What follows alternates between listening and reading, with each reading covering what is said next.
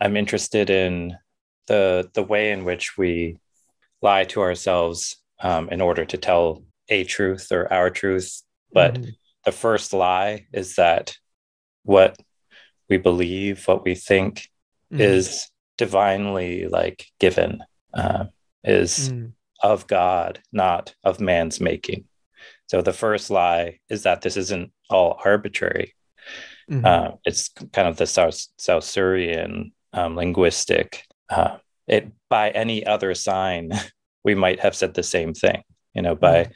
you know uh, uh, the that the, within language, you know, like Nietzsche's approach to language is as a philologist, he's seen that mm-hmm. mm-hmm. Um, it could be other words, but it's these words, and we forget that they're not the thing. Uh, we forget that they're linked up.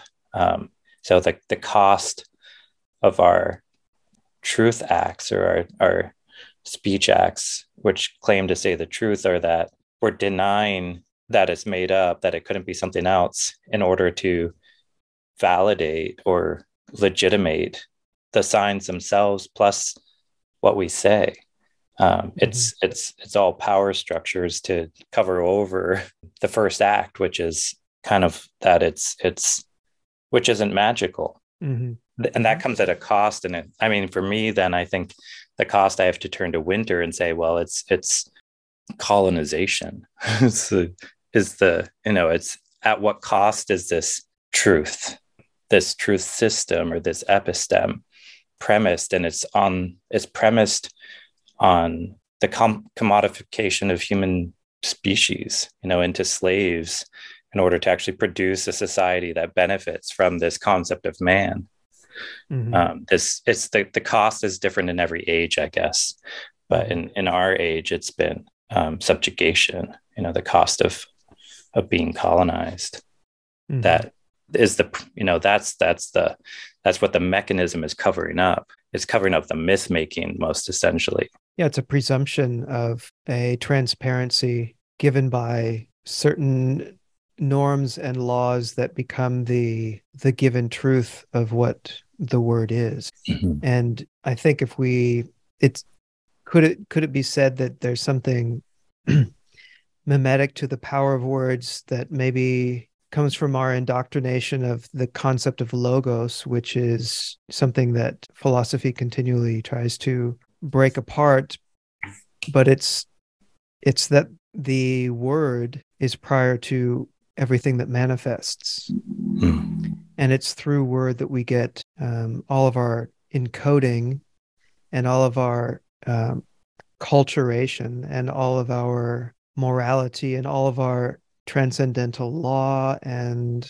in a sense, it is that kind of, I suppose, colonizing sense without, but you know, in a in a different way, I suppose. Um, or well, maybe it's a colonization so of nature in the first place. That's what he's saying here. Mm-hmm. You know, the the the the relation between world and word is already um, a, a, a subjugating one. Mm-hmm.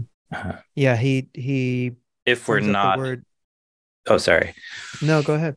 If we're if, not, if we're not acknowledging that the the word is appended, if um, and that other words might have been appended to it. Um, you know this this relationship between the you know what does he talk about? The the the sound that becomes an image like the mm-hmm. nerve pulsation. What is the word he gives? I interrupted you. Go ahead. No that's fine. I was vibing with what you were going with. Um, he uses the concept he uses the word leaf as an example. What what going back to what you were saying is modeled on on nature yeah, the the, and, the leaf, which stands for all leaves, which supplants the individual actual instance. Yeah, yeah. Um, by yeah. becoming a concept. And so when we think of something like the divine manifestation of word that comes through the mouth of Christ as hmm. truth, w- when you, I think one of the things that's interesting about Nietzsche is that he's not just a a critic of religion, but he's concerned with how religion is going to be transformed into a non-religious ethics. Does yeah. that seem fair? Yeah. And so if this divinity of word is so habituated and embedded in us in in a belief in something as powerful as the afterlife and salvation and forgiveness and then we try to transform that habituation into what people say in in everyday existence you know the the power of words and the the ability for words to attain power and the ability for power to gather words into something that does feel transcendental that does seem all encompassing um, then that has a powerful effect over the psyche mm. so i think that this transfer, transformation of the divine word into um, the importance of words to replace nature to replace the i think what nietzsche and deleuze are both concerned with is the individual instance that has its own possibility like the individual leaf right? Um, then that be- comes to inform the idea of of truth because in belief and in the habituation of belief the concept overrides the instance. I found that text that i was trying to quote from. So what is a word? Page 55 in our version it is a copy in sound of a nerve stimulus. and then again later, um, halfway down that page, uh, to begin with, a nerve stimulus is transferred into an image. Mm-hmm. First metaphor. The image, in turn, is imitated in a sound. Second metaphor. Um, so these mm-hmm. these sound figures, um, the this, but in both cases, we have the um, we have a kind of nerve stimulus mm. um, that and and a transfer. Yeah, transfer. So yeah, I think. But I think the transfer of nerve or the transfer of stimulus would be that the word then takes on its own stimulation. Yeah. Yeah, I think it does both, right? Mm-hmm. Like I think it has sound and image to it. Um, but also that has nothing to do with the world. yeah. so like we have a whole new world of words, mm-hmm. um, which is in concert with the the the world we've made words, but mm-hmm. these are arbitrarily related, but we think them to be necessarily related. And if we don't if we don't if we're not acknowledging that they're arbitrarily related, then we're lying to ourselves most mm-hmm. essentially. I see. Yeah. And that's the first lie. Um, mm-hmm. But we do so in order to tell the truth about the words, which is really more a song of a song or, mm-hmm. you know, a, a, a, myth making. It's a mm-hmm. mythos. And, you know, the word made flesh mm-hmm. is uh, mythic. Mm-hmm. But because of our belief in its relation to the world, is magical. Mm-hmm. It's effective. Um, and and it maybe we could also say um, it imitates the world there's some relation between sound and image or experience of the thing and what we call it um, it's not entirely arbitrary in our experience but now we're kind of in the bachelardian world of like examining these different kind of sound units as mm-hmm. worlds mm-hmm. Well, I think as well, you just maybe think that if, you know, it, like so many mimetic processes, that the copy takes on its own natural state mm-hmm. or presumed or believed natural state that gains its own power divided from nature. I think that was part of the Christian idea of the word yeah. and what a lot of people picked up on. And so once, because I think, and I think I'm resonating Nietzsche here, because of that, power is able to use language to grow itself. Mm-hmm. And that runs into the question then he asks is what what then is truth, which is his next question, can I, right? Can I interrupt there though? Please because do. it grows itself mm-hmm. at odds with other languages, mm-hmm. other orderings, other structurings, mm-hmm. um, other systems, other cultures. Um, mm-hmm. And so part of what is at play in terms of how language evolves is it, you know, it, it, it evolves alongside or as a part of po- the growth of political global power. So mm-hmm. as English has, you know, colonized the world and as French and Spanish and Portuguese and Dutch have colonized the world, each of their representational systems or the, their epistems have also gone out into the world and creolized and nativized and and wordized the world and they've done they've established their symbolic representational system as default um, yeah. for other language systems other culture systems you know by by threat of death you know with with um, you know power made through the barrel of a gun. You know i'm thinking of robinson crusoe's friday who worships the gun because of its magic. And the gun seems like it's language too. It's but it's specific language. It's english you know it's um mm-hmm. and, and it's every every language has a different way of establishing itself as as master. Mm-hmm. um and in order to do so it has to it needs a slave mm-hmm. so i guess what i would say is each of these lang you know any the word made flesh this mythos mythos is only as powerful as it can dominate other myths other creation stories other religions other cultures mm-hmm. um, it's it's dominant you know it's um, our concept of of you know of logos or our understanding of language as logos i think is the predominant one in part because it's it's beat out other master narratives mm-hmm. Now this uh, sounds like Roland Barthes using yeah, I mean, using the using the myth to overpower um, in order to tell a certain story that is of a dominant ideology. Yeah, I think just the the, the step between um, language to specific languages mm-hmm. is a big step, and I think it's he Nietzsche does mention it briefly where he um, talks about the arbitrary assignments of gender.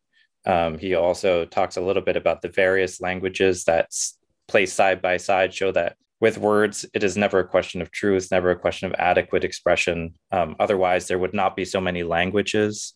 So, like that, there's language, there's a war of languages, or there's a power struggle among languages to be the dominant representational system. Mm-hmm. Um, so, it's not arbitrary that one becomes more dominant, it's because of power. And then that overlays the other metaphysical systems of those languages. Mm-hmm. Just like syntax is the order of the world. And to the extent that we believe in language, it, that's it becomes what we experience the certain order and and of words and world or how uh, the order of our experience and the order of the words that we use to represent it become almost anonymous in our experience. We can hardly tell them apart. Mm-hmm. If we bring this to today, I think one of the most effective uses of power is to project the idea of a translation mm. so that all other languages can come to English and speak the language of commerce. And there you have globalization and yeah. global capital. But that's I'm I'm but, projecting but, now into a new a new area. But yeah. One of the things in Wynter that I'm really interested in that she writes about in Black Metamorphosis, which like hasn't even come out in print yet. It's still in just a, a manuscript of a monograph. So Sylvia Wynter is a Jamaican novelist, playwright, and critic maybe cultural critic or transcultural critic. She retired significantly early, like 20 years early, so she could write. Um, mm. She like taught mm-hmm. for a while, but she basically like converted her life into a writing life mm. and produced this huge series of like really, really thick essays, like essays like uh, The Ceremony Must Be Found After Humanism and Ceremony Found, uh, where she is looking at um, man as an overrepresented word act that has gone through two significant epistemological sort of paradigmatic shifts. So she calls them events. So the first event um, is man coming to a consciousness of himself, herself, itself as man.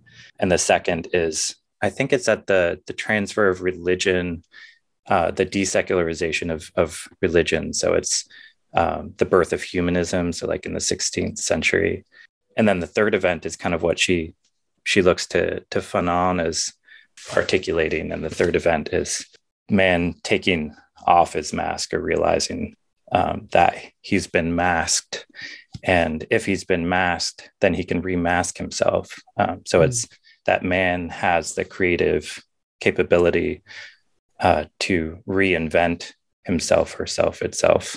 Mm. Um, if we've been invented, you know, colonized by colonizer, then we can reinvent ourselves. The same tool that's been used to subjugate us, we can use uh, to self realize or uh, self determine. Mm-hmm. So that's the next event. Mm-hmm. And and she she goes back to Césaire and Fanon especially, but to to a lot of other people. She reads Latour. She reads widely. She reads everyone. She you know she Heidegger is important to her. Searle's important to her. Uh, everyone. Uh, Althusser is super important to her, and then she reads throughout Black studies too. Uh, mm-hmm. So in any case, yeah, um, this this specific moment in her manuscript, Black Metam- Metamorphosis, which was an unpublished monograph that she wrote in the 1970s it was born out of this essay that she wrote for the Jamaica Journal. I think it was in in 1970 called uh, Junkanoo in Jamaica, where she was going back to Price Mars, thus spake the uncle, and using what Price Mars had to say about Haitian culture um, as indigenized culture, as as being indigenized to Haiti, even though it was African culture syncretized with Catholic culture that produced voodoo because there was new culture produced between African uh, religious practices and Catholicism. Haiti was born as Haiti gets its own roots. So this this process or theory of of indigenization is that Price Mars talks about becomes really important for Wynter in talking about uh, the transplantation um, an indigenization of Africans in the Caribbean, throughout the Caribbean, that people become, they become from those places where they work the earth. So it's through working, it's through work, right? This is Hegel. Um, it's through work that we there's there's the possibility of freedom or self-realization. It's she calls this in, uh, indi- the process of indigenization. So yeah, that's so if you imagine like a root being taken up from Africa, uh, planted in Jamaica, and then mm-hmm. enslaved uh, and worked for hundreds of years. Uh, through that work, the people became of that place. Mm-hmm. Uh, and that place became a root, like a, uh, a source of a sort of a, a, a nativization to, to that land. Mm. So, yeah, I, I, I brought her up though because I was thinking about this question in Nietzsche and sort of what we're talking about as it concerns power and how languages are at war because cultures because there's a you know a, a survival of the fittest language at play which is is also probably the survival of the the greatest economy i mean i think that i, I feel like it's i'm relating economy and languages quite a lot here. I think it's the language that wins out is the economy that wins out. Uh, mm-hmm. And part of how that's achieved, I think, it, and this is what brought this this question to mind, is that Wynter in Black Metamorphosis writes about this uh, at the initial trade between um, when countries began to gain their independence um, throughout the Caribbean at the when they first started trading in the global market, there was a like a hundred percent uptick of the colonizers, whatever was being traded for, whether it was like coffee and you know gold or silver, silver or labor and bananas. There was always a doubling of of the colonizers' price, um, so that they always benefited from any exchange, whatever. Um, mm regardless of what was being exchanged. And I, I kind of feel like that's what happens in language too, is that the economy of certain languages, uh, because it's in that language, it has a um, increase in value uh, because of its globality, I guess, in part, but also because of its po- the power that it is in relation with. Mm-hmm. Uh, but I feel like I'm getting into world system stuff and maybe mm-hmm. not enough Nietzsche and the, no, that's fine. I, I what a word is. Yeah, appreciate that. I, and I think you're right. I think I think I agree with you, and and I think it happens that um, these kind of things can also crop up in local ways as well almost um almost like uh i don't know if if if another tribe was to suddenly crop up and it had its language and it had its control over say bananas or something like that it would use its language. Um is that fair to say or do you think that it's more of a different well, i think of... that i think any language is as powerful as its market. Yeah so that's what uh, i would suggest. so political, economic, and value correspond to the the sense making system of any language whatever. So there's a there's an there's an essential relation between the you know how good a a, a language's economy is and how powerful a speech act from that language is. I think that mm-hmm. there's there's a relation there. I have to bring up another author but Ngugi uh, wa Thiong'o is a, a, novelist and kind of maybe like a literary critic, and has been he just wrote a book on translations uh, on translation called The Language of Languages. And I've been checking out his stuff, and he was he was talking about um, politics in in Kenya specifically, and how the language, the intertribal language, uh, is is English instead of being Swahili uh, because of the way that English has dominated politically remains the, the most effective means to continue to maintain political power. So, like anytime a, po- a politician would give a speech, they give a, their speech in English because that's the language of the colonizer, but it's also the language of governance and con- social control in terms of the experience of of the colonized people of Kenya. So I guess what I'm saying is that language, I think the languages that we speak associate certain worlds that we experience and, and how we value, um, overvalue or undervalue a language has a lot to do with what social power we gain or stand to lose by speaking it. So if we want to dominate, then we use a language which corresponds most closely with the dominating languages. Well, a couple of things come to mind. I mean, in one sense, thinking about what you said about Wynter, is is it possible that there is a a way of taking back the the language in a local sense if you hmm. if you do have the economic base of course in a global situation that's very hard yeah, to maintain yeah. but but i wonder if there's a yeah. if there's a little rupture opportunity there there is. And... But then in a global system, I would think, and just thinking about what you said about English as being the the language that would be spoken in a academic sense rather than Swahili, it's that's probably because of the supremacy of you know white white domination in exactly. academia and also in the global communications infrastructure with the yeah. internet and things like that. These are mm-hmm. just further manifestations, I think, of Nietzsche's idea, though. So what Wynter has to say is is exactly or, or lines up really well with what you're saying or what you're suggesting. Um, and she points to, you know, Bob Marley and mm-hmm. relation to Garveyism um, and reads really closely the writings of Eldridge Cleaver and is like deeply entrenched in like the Black Power movement, like really committed to the ideas and the practices. Mm-hmm. Um, and I I think what she what she finds is and the opportunity for rebellion, revolution is always possible uh, within the the colonies. So I think it you know the example of Haiti I think is is one of the examples that you know that she goes back to and a lot of the people who she reads CLR James and, and others go back to a case study in how to get free part of part of how they did it was um, she talks about is that every um, slave had a had a their own plot that they could grow their own food on.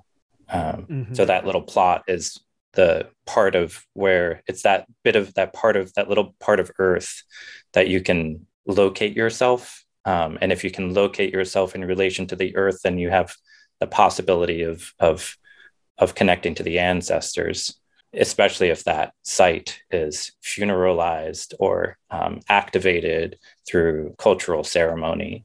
Um, Junkanoo is a, a, a dance that's born out of the a kind of like funeral mode, but it it it's it's kind of a reinvocation of the ancestors um, by way of a backward glance. So for all the the all the disconnection between uh, oneself and one's culture, oneself and one's language, especially in the case where your languages have been erased and your history has been erased and your names have been taken. Um, there's there's oh, an opportunity still for reinventing yourself, but doing so in relation with the ancestors, insofar as you can connect to the ancestors through that little plot of land where you grow your yams. Um, and when you when your yams are harvested, then you you celebrate Junkanoo.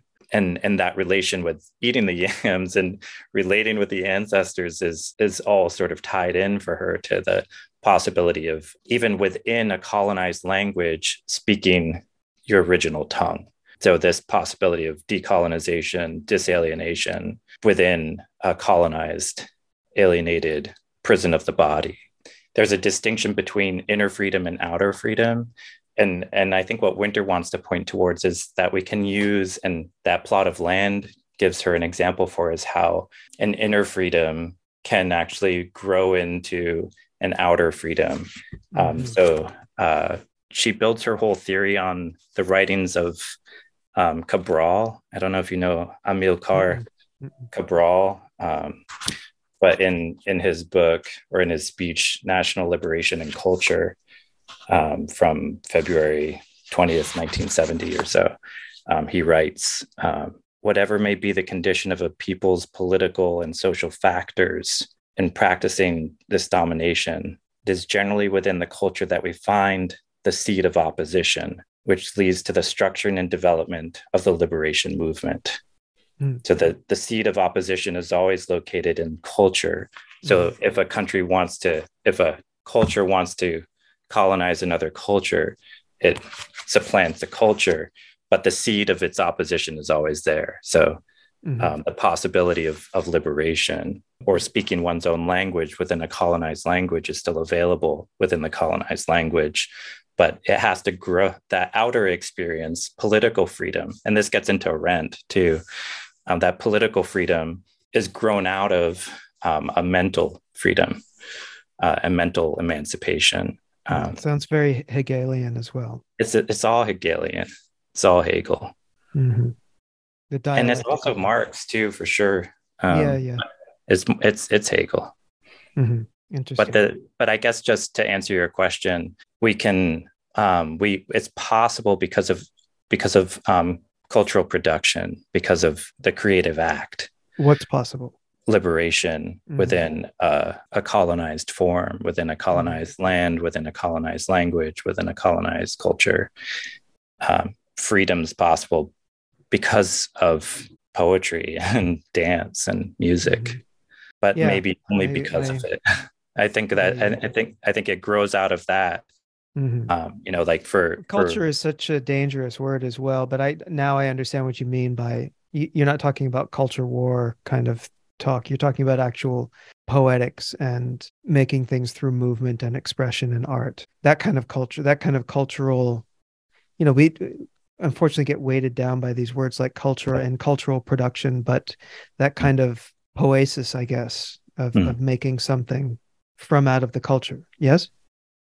Yeah. Yeah. Okay. And as it concerns the the question of culture wars, I, I mean, I think that there's there's there is a relation here. Um, yeah, there is something, and and maybe that's it, why the battlefield is being fought.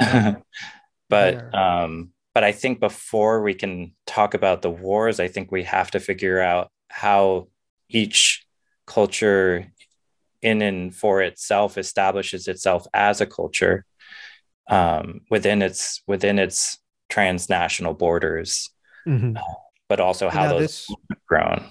Mm-hmm. Uh, well, now this would make me think of Deleuze and Guattari's yeah, idea of a minor I'm, literature. I'm totally yeah, so the, I, that the minoritarian is exactly is not is not so much um, now they they're taking a non-Hegelian approach in that the the the minor is not opposed to the major but within the major the minor expresses itself from out of that by using its own language being housed within the dominant language mm-hmm. that's the way i understand the minoritarian yeah. expression yeah. so that's another way of kind of approaching that idea of yeah. of that i think i think what i haven't said clearly enough to try and sum up all the people I've been calling up is that I feel like there is this possibility of free speech in occupied territory. Yeah, I don't know if free speech is it though. Maybe it's but I mean parole libre, like the the the uh the Fou- the Foucaultian concept of free speech, um, fearless speech, uh, speech that liberates, speech that is free. Um, and so here I would also think of, you know, like Lautréamont and I don't know, the, the Marquis de Sade. You know, I think that there's okay dangerous speech. Kind of there's a kind of freedom to to reveal and also the the necessity of philosophy to say everything, mm-hmm. not to censor itself. But then we have to reckon with everything yeah, the idea of of a free speech is is has really changed its language since we've been indoctrinated to that idea of free speech because in in the sense of how we and this returns us to where we started which is the habituation of terms mm. so free speech we've been indoctrinated habituated to believe that everyone in america for example uh, has freedom of speech the freedom to to speak and I think if we think of it in that way, in that container of what that meaning houses and the kind of aluminum casing that that uh, captures the word in, the that, empty husk. yeah, that it uh, it becomes something of well, sure, everybody can say what they want kind of idea. Mm-hmm. When free speech is is not what we are getting in a in a sense of I I know, think we kind are of, kind of well it's a, a, sense of well just to finish the thought that there's that there are forces that are not so played out in the in the court of law in terms of infringing on mm-hmm. freedom but but a kind of meant a, a psyche that there mm-hmm. are reformulations of the psyche and i don't want to sound conspiratorial but how how things just kind of move to contain thought so that its freedom is something that is agreed upon mm. Which i think is a danger and it and it does not leave room for the kind of thing that you are saying i th- i think what i mean to say is who is free to speak freely actually i think that when we talk about free speech everyone not all bodies are as equally free to speak freely um, so i think that can you give an example? I just want to know where you're coming from with that. Yeah, I mean, I I think um, as it concerns protest, I'm thinking of uh, Judith Butler's "The Force of Nonviolence." Mm-hmm. I'm thinking of Walter Benjamin's critique of violence. He writes about how there's these two forms of lawmaking that uh, political power has the right to make. So it's it has the right to make laws as well as the right to interpret how those laws, what those laws mean, um, or how those laws can be applied. So in the case of a police officer um, pulling over a, a, a, a person um, in a vehicle, they have the right by their, you know, by by the the laws to, you know, if they if they see something that they they want to respond to they, they have the right to to do that within the laws within the laws there are certain rights that you know that whoever is pulled over have too uh, mm-hmm. But in in terms of um, law making and law preserving um, powers in the critique the interests of the state are always to protect its power um, so how it how it applies um, the law preserving acts are are in order to uh, constitute the law. So uh, how you know so if a police officer stops and frisks a person on the streets of New York and and that's within the law, then there's nothing wrong there. but it's also within the law for them to determine where and when to use that law. And, it, and it's in the interest of the state that it would um, use the opportunity to interpret the law as a way to defend itself. Mm-hmm. Um, so whatever are its interests. So if if you have protesters on the state steps in Michigan um, who happen to be white and are holding guns, that doesn't threaten us, you know, the state because they're representative of the state. But if those are Arab or Muslim appearing people with guns on those same steps, then that's terrorism. So, how mm-hmm. the state interprets the law is the law that is making. Um, and it has that right mm-hmm. uh, to protect its own interests uh, mm-hmm. as it defines itself. And it defines itself out of its history, you know, out of mm-hmm. what it's been for the last 300 years, where it came from, whose mm-hmm. interests were first invested in it, uh, mm-hmm. how it constitutes itself. This is a charged topic. It is, yeah, and and I think you're broadening the the idea of speech, but then that does bring us in line with the idea of not only speech but the symbols and the the semiotics of power um, yeah that reinforce the myth and um, exactly. yeah in that in that sense i'm with you but i do think that there is the thing that that i'm that concerns me is that i do think that in the example that you stated there are others who can come along and speak to that power. The problem is, I don't know that the speaking is enough when it's always. So this is this is kind of the the kind of question that I might have for someone like some of the writers that you've been talking about is if the and this is I think part of my problem with dialectics is if it's always within the structure of the dominant culture that resistance happens, then dialectically it always seems to come back to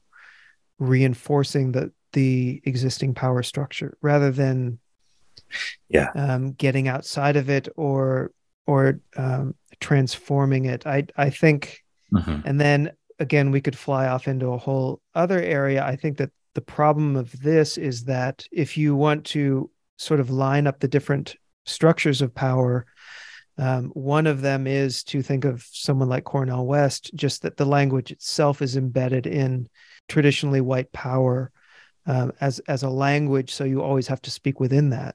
Uh-huh. Um, another problem I think is that the internet is built on, or it has transformed itself into what you were talking about earlier, which is this English language economics that sets the parameters of discourse that are hard to get out of. So uh-huh. the problem I see is is in if we are stuck in these and then to bring us i guess to circle back to what we were talking about at the beginning if it is that we have internalized and habituated these beliefs from the words that we have that we don't even question it's like a fish in water it's just the water that they swim in that we swim in then is being inside of it the way of transforming or is there something that needs to come in a post are we talking are we taking Nietzsche's ideas and are we talking about something that has to come in a post hmm. um, electronic world? Or I don't know. That's just an open question. Yeah. And an impossible one to answer, I know. I mean, there, I... there's all sorts of things to play with there. Mm-hmm, mm-hmm. Yeah. I I think that there is um, going back to one of the earlier points there, whatever tools or methods we use to liberate ourselves will be used to destroy us tomorrow. Um, so like, mm-hmm. yeah, it's it's that's how capitalism works. Mm-hmm. Uh, so we have to be nimble. Um, we have to keep moving. Mm-hmm. We have to keep and, creating. I think like and, you can't get free to you know today how you got free yesterday. It's just yeah, not. right. And if I think of the most effective protests that have happened, things like and it's always in its earliest stages. If I think of the uh, umbrella protests in Hong Kong, if I think of Black Lives Matter early on, if I think of Occupy Wall Street early on, mm. before the lang the language of media and corporate media and again that economic structure of mm-hmm. uh, power decided that it needed to codify the rules and the standpoints of people who are like you said just moving and being fluid you know once once the media comes in and defines the terms that's when the fluidity falls apart. And so to your point i think yeah you need to be nimble. You need to keep moving and keep creating. Yeah. Also i think we need to get like we are doing earlier really um, aware in terms of what you're saying if we're all we're all swimming in language or if we're all in the prison house of language mm-hmm. um, to go back to jameson who um, mm-hmm. i feel is a sort of shadow figure in this conversation too we don't all live in that prison the same it's we yeah, we're true. we're there's different yeah. laws that um, apply to to each of us and and that determines sort of our, the fluid dynamics of how we manage and are managed by language whatever mm-hmm. language we're we're working in um, it's the same as being you know being at the being affected by the sort of social ontological political forces in any culture um, language and culture you know are are unfold each other i think in this way or mm-hmm. co-create each other in this way. Well it's chemical. It's the, it needs to be chemical. It needs to be constantly running different yeah. different fluids in the in the bunsen burner you know? Yeah. But i think that i mean per our sort of uh, and you know where we often line up is this imperative to create mm-hmm, um, mm-hmm. for our for our um, thinking, for our writing, for our uh, for our movements to keep regenerating, uh, yeah. keep reinventing itself. Because I think that's in, in, part where the you know the to get at the transcendental that you're pointing mm-hmm. towards. Um, if it you know it's it's it's it's i'm thinking of heidegger's uh, only the gods can save us now only a god can save us now and and I'm thinking of of the end of Freud's um, civilization as discontents, where he's like, mm. you know, man, will man destroy m- man because of all of this, you know, aggression and all of this drive to, mm-hmm. uh, you know, the truth drive becomes the the uh, yeah yeah destructive principle, yeah, um, self-destructive principle. Mm-hmm. Yeah, it seems like there's a demand now to, and, and it has been going since perhaps 2016 at, at least for me is, is is this need to codify one's moral standing mm. and then and then maintain it mm. and use that as the and, and then find the others who also are that and then yeah. to oppose what is opposite to that and and that's just not creative yeah i i feel like for myself um politically and creatively more and more i'm trying to just like work my little plot of land and grow some yams so i can potentially like have a, the yams a, a yeah. ceremony like i feel like it's like what is what is the it. basic food of freedom you know mm-hmm. it's it's it's a root yeah uh, but it's it's that's great like where can i just like too. cultivate some little part mm-hmm. of of regenerative, life giving, humanizing growth again. Like where I feel so dead in capitalism and so mm-hmm, exhausted mm-hmm, in this representational system that I, I think everybody is. Yeah. Yeah. This it becomes work when you live in it. Um, and then yeah. can you get free within the same stuff? Like back to the empty husks, it, it can just become tautologies. Mm-hmm. Um, and and all that empty husking is really disembodying after a while. Um, and even if you're talking about getting free mm-hmm. yeah and i think for me it's um, and i think one of the things that resonates with me with nietzsche and, and one of the reasons why i like talking about him and talking about him with you is perhaps i'm i'm different from you in that i just want to keep antagonizing things i'm i'm very much i've become much more of an antagonizer, mm. uh, a, a, creative, hopefully um, joyful antagonizer to mm. go with Nietzsche's idea, but sometimes I, I fail at that. You could hmm? be his gadfly. Yeah. I fail at it often because I get frustrated. But um, to me, antagonization is necessary. And I think that we're mm. we're feeling a loss of that sense because it's mm. become something associated with aggression. Well and that's disappointing. Yeah. Well, it is sometimes aggressive. Yeah. And I guess my question would be like what are all the ways in which it forms of engagement or response or like i guess it, it, i'm thinking about the difference between criticism and critique mm-hmm. is like what and and um, some of what you know the terms we don't like are like having to describe you know like having to to like just remain in this level of summation and and mm-hmm. re-articulation that never gets to a kind of creative act of an original act of thought thinking with and thinking from the materials the historical materials that we've inherited in this you know, historic moment that we can everything we can think with mm-hmm. um, all the thinkers all the thoughts all the articulations as mm-hmm. music to riff off of and to play with and also sometimes accidentally to stumble on something new probably the most joyful part about all of it for me is the